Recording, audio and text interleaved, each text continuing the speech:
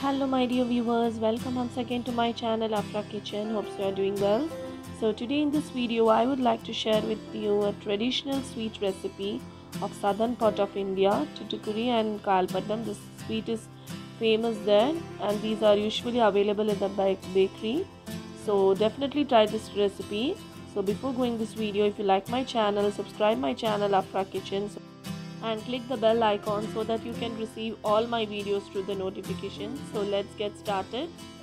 So here I have taken a cup of semolina. I have already dry roasted it in the tawa now I have taken one cup of jaggery. You can even add sugar. It's according to your taste. And I have taken half a cup of melted ghee here and some cashew nuts and a pinch of cardamom pinch of salt and I have taken two eggs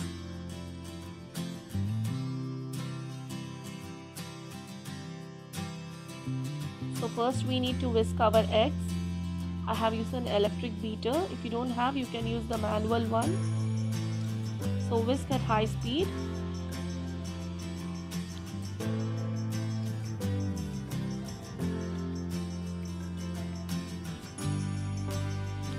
Add a cup of jaggery. You can even add sugar it's optional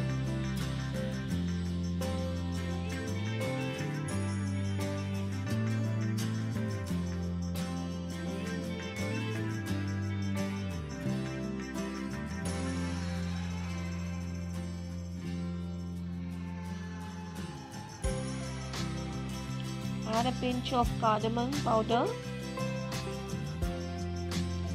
Now add a pinch of salt. Whisk at high speed.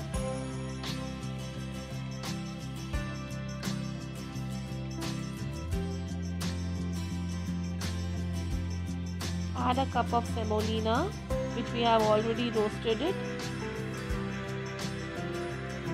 Now beat it for 2 minutes till all the ingredients get incorporated and rest it for 5 minutes.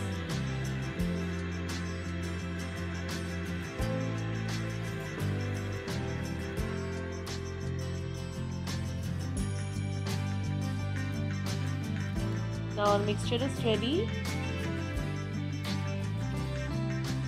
Rest it for 10 minutes so that all the mixture get absorbed together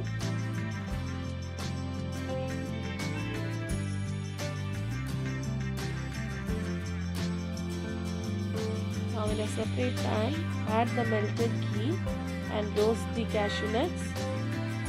Now transfer the mixture into the pan and cook it for 10 minutes.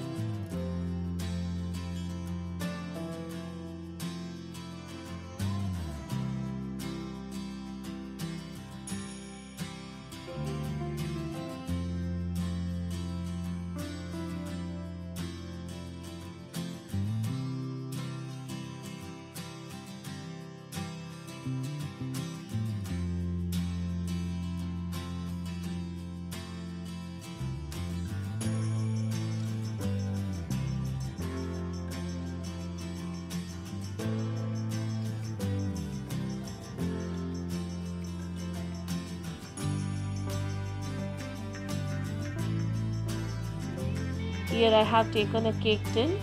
Now grease it with butter so that it will be easy when you take off the dumroot. It won't stick to the pan. It would easily come up. So now we just need to pour this mixture. Bake for about 180 degrees celsius for about 30 minutes in the oven. If you don't have oven it's optional. You can even try it in the gas stove you need to just put in low flame and bake it for about 40 minutes. So definitely try this recipe and just mention me in the comment.